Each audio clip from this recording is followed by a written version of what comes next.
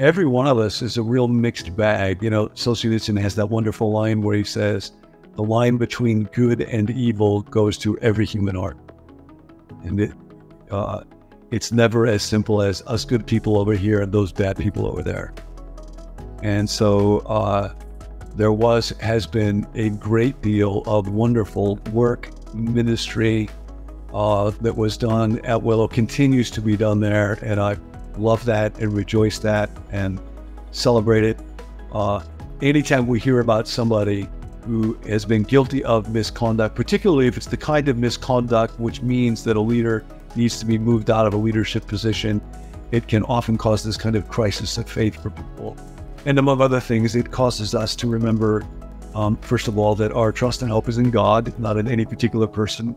And uh, we all are in desperate need of God.